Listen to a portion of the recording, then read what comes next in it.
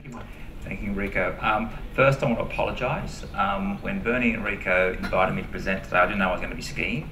So um, these slides were actually put together down Thredbo, and I've just realised they're not particularly good, but bear with me on that. Um, the presentations today have, have, to me, have highlighted a few things. Uh, the first is that, as Enrico said, I sit on um, the AI Alliance, and part of what I do is I look after the consumer healthcare. So I run the consumer flagship. And as a previous speaker, Arun has spoken about, I think if we don't keep the consumer at the centre of what we think and do, then we're going to actually be, we're going to end up with a lot of technology which doesn't really do much. Um, okay, so quickly, um, so two things. Haroon has actually stolen my thunder, uh, so that's the first thing. So I've actually put another problem in or another um, uh, concern. Um, and then Enrico has stolen some of my thunder as well. So, so this is um, uh, he had a lovely little slide of AI, how quickly it's been it's been taken up, and his was based upon uh, venture capitalists and how much money they're throwing into it. My one's a little bit older. Um, it looks at just the technology across the years and how quickly it's it actually is um, taken into society and uh, become mainstream. You can see the big thing from this um, graph is that it's happening faster. Uh, and I think for us today, talking about AI and my concern, not my concern, my thing is what's the next uh, piece of technology which we, we don't even know which which but which will be um, mainstream in five years. So just keep that in the back of your mind. While we talk about it now, I think a lot of places around the world, you look at places like India and that where because uh, of their population, they have to do things in mass. Uh, a lot of their, their knowledge there, I think, um, will be interesting to see how that fares out in, in AI to come. Um, second thing is I want to thank uh, my colleagues at Health Direct. Um, they've given me a lot of the uh, input to this. Um, this is something that Ian Bale did who worked for me. Um, and this is looking at, we did a, a big study across the population at, at, how people interact with technology. And this was, the question was asked, um, who do you go for health information?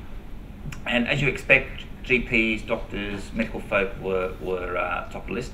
But then there's a whole raft of, of others. And I think this is where we have to, AI I think can fit in. This other piece is where we can actually get, we spoke about intelligence, we can get uh, a intelligence source, which is um, uh, assessed, tested, um, assured by a body, and that's why we look at getting standards in place. And so the individual can say, well, I know this has been something where there's a level of knowledge, uh, whether it be clinical input, whether it be uh, scientific input put into it, and it'll give me a good answer, as opposed to we all hear about going onto Google and finding whatever you want. Uh, it does occur. Uh, I think that um, from my experience at Health Direct, uh, that a lot of the information out there actually is not assessed, assured by a clinician, and so you have to be concerned.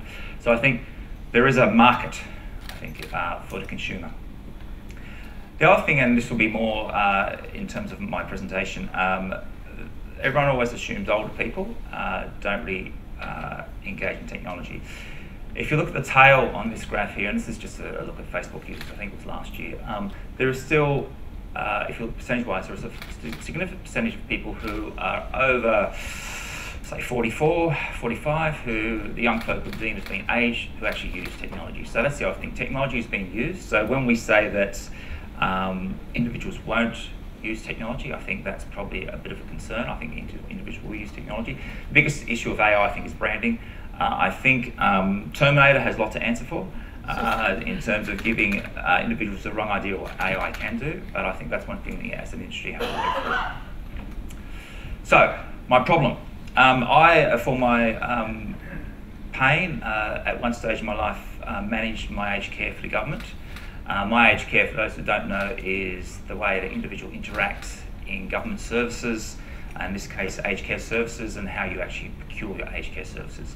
Uh, not all the population can use this. It is a means tested process. So that's the first thing. As my parents are just going through it now, uh, even I didn't know that. So is a means tested pro process to it. But essentially, this is from a technology point of view, my aged care. So uh, does this got a? No. Oh, sorry.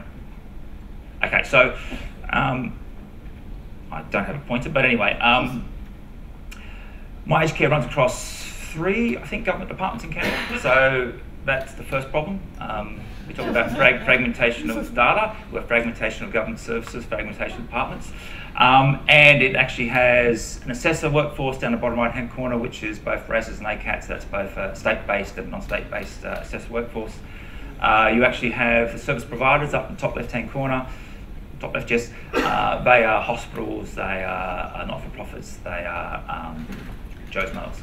Um, and then you actually have the, the users down here. Now the users, interestingly enough, is as you expect, uh, the aged person themselves. Uh, unfortunately, um, I'm nearly aged, and that actually worries me because I don't think I'm nearly aged. But uh, the the rules are put down a lot, a lot longer when people get old faster. I think. Um, so you have the aged people themselves. You have the carers, and the carers can be family. So my instance, I'm not my parents' carer, but I actually interact in aged care for them. Uh, and then you also have the service providers. So these are the people who use this system. Uh, varied um, consumer use base there. Um, and then, of course, uh, the piece which I was interested in at this stage is this little bit here, which is the front door into aged care. But that back office there is a lot of technology, a lot of systems, a lot of, so you've got Medicare working together, you've got DHS, you've got all these government departments working together. So it is actually is a big complex beast. Um, just quickly, uh, just so for those in the room think there's no money in aged care, there's a bit of money in it. Um, as you can see from there, this is from um, the service providers um, was a review performed. I actually have the uh, the IBISWorld report on aged care providers in Australia. So you can see there's money, you can see that the government spend is pretty uh, straightforward. Uh, as time progresses, they're spending more money on it. So, uh, like all things in healthcare, that will not be that uh, will not be um, something which we cannot keep going uh, or manage in terms of the government. and so, something there has to be a process in place where we can actually uh, do a large to scale delivery of healthcare, uh, aged care in this instance, but healthcare anywhere. All the presenters today have been talking about at scale, and this is what we uh, look for in AI as well. So that's just quickly uh, a bit about aged care. So, uh, so this is important to my one of my problems today. So you can see there's uh, per year. So this is the people interacting to aged care, ring the one eight hundred number. You've got 1.5 million people come into it. Um, you've got uh, every year quarter of a million new people coming to aged care. So it is a big beast. It is, is moving along and um, at this stage is manageable. Uh, this is just the interaction into it. Some people think aged care is not manageable, but I won't comment on that. Um, so my problem, one. Um, as I said, I had a problem and then Haroon decided to actually steal it. So, um, and what I wanted to come to today is everyone's been, uh, and this is a no slight on my on my previous presenters, but one of the biggest issues about uh, anything in technology and AI is actually getting hold of some data. So I was hoping to come today to say I've got some data sets for you. Um, I'm still hoping to get that. I'm in discussions with a few people, and we might be able to get data sets. So fingers crossed. Um, but my first problem is. Um, when people interact in in um, my aged care, uh, there is a there's a there's an issue in that, and this is all healthcare, is that as an individual you don't really know what you don't know. And to be honest, a lot of people in Australia, aging is something which comes upon them. It's never planned for. So it's my advice to people in the room who are of the age, start planning for aged care. Plan on how you want to retire. It's very important. Plan on how you actually want to move into a care facility. People don't do that. So they come into this aged care program completely blind, and as an individual who's looked after my parents, I'm the same. And you bring up My Aged Care. Now, it is a very much a government-based program where they're giving information to individuals to try and help support them, but um, it is something which I think needs, in, in terms of a consumer-friendly program, probably needs to have some improvement, and they're doing that in Canberra. So, so this is not slighting the, the, the, the people in Canberra; they actually are moving towards it. But I think AI can come in and actually help a little bit more. And what I mean by that is, and this is again, I've butchered a few slides, so don't read too closely on this, but I, I look at that interaction in the first place. How do you actually come in and actually engage in, in, uh, in my aged care? Can there be some type of AI program behind that would actually, and I just use Google Home here as an example of the interface, so just be realize two different things, how you interface in the technology and how you actually use AI is two different things. So the AI sitting behind it is how do you actually get real-time uh, interaction with a Google Home, say, hey Google, example will be, you know, I'm 55, how do I, you know, work into aged care, what type of package should my, my parent get? Simple things like that, which are very difficult for people to understand. So, so my problem is that interaction with aged care is really cumbersome. Can we use a piece of AI to actually deliver that? Now, what I was going to offer was um, the ability to actually parse all the questions into that contact center for the last 12 months So you actually know what the questions are, and you know what the answers are, and you can actually build that into your modelling. So that was hopefully will still come off. So that's the first problem. How do you create a piece of tech which will allow that seamless interaction into um, uh, my aged care? The benefit for this is that there's no diagnosis involved. So again, you remove the clinical uh, aspect to this. This is purely just uh, call it humanics uh, problem where we just want someone to actually have a good interaction into my aged care and actually engage properly and understand where they fit in, into the system. Problem number one. If you can do that, I know some people in Canberra who will love you to bits. Uh, oh, sorry, that was that was a mistake. I realised that I had two slides of the same thing. Problem number two. Um, this is my original problem, um, and I didn't have any data for this one, so I know now that data's been taken off the table, so in actual fact, everyone did me a favour.